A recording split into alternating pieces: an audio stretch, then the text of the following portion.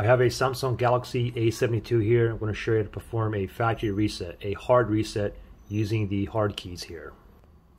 Okay, so first thing is uh, you will need a computer or a laptop, all right? Go ahead and connect your charger there. And then we're going to go ahead and plug it in.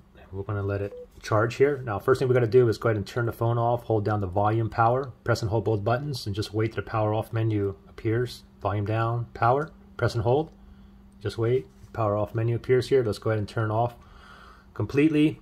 Now, if you get a password um, here that's asking you to shut the phone off and you don't know the password, then look in the link below. I'll show you how to um, bypass this. Okay, anyway, let me just go ahead and turn this phone off and I'll click on OK and you can see that we're plugged in right now. I'm actually still charging for my laptop. Doesn't matter if a PC or a laptop or whatnot.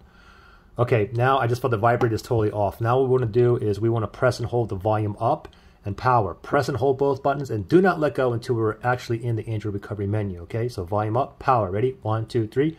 Press and hold both buttons. Do not let go. Just wait until we're actually in the recovery menu. I'm still holding here. Volume up and power. Holding here. Still holding. If after 15 seconds or so, it's just showing a percentage on there and the phone didn't turn on nothing, just let go and then do it again. Volume up, power, ready, one, two, three. Let's press and hold, see if it works this time. Still holding, volume up and power, both buttons. Still holding, still holding, waiting for us to get into the Android recovery menu, which is right here. Now you can go ahead and let go.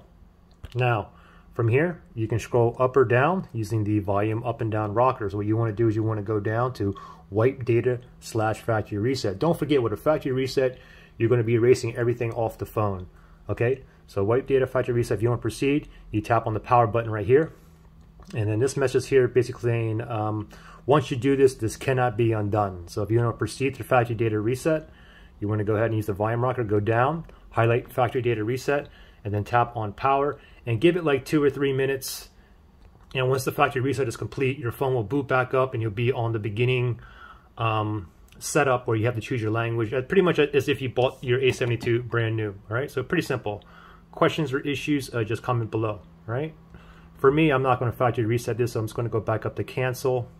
And then it's on reboot system now, that's fine. I'll tap on power and just let it um, boot up regularly. Any questions, issues, comment below.